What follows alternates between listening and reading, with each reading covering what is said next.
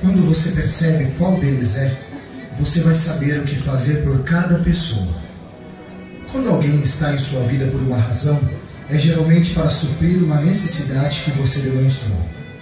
Quando pessoas entram em nossas vidas por uma estação, é porque chegou sua vez de dividir, crescer e aprender. Quando uma pessoa entra em sua vida para uma vida inteira, te ensinam lições para a vida inteira, coisas que você deve construir para ter uma formação emocional sólida.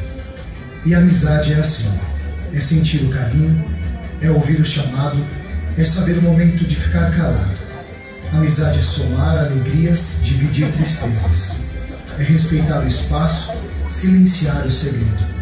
É a certeza da mão estendida, a cumplicidade que não se explica, apenas vive.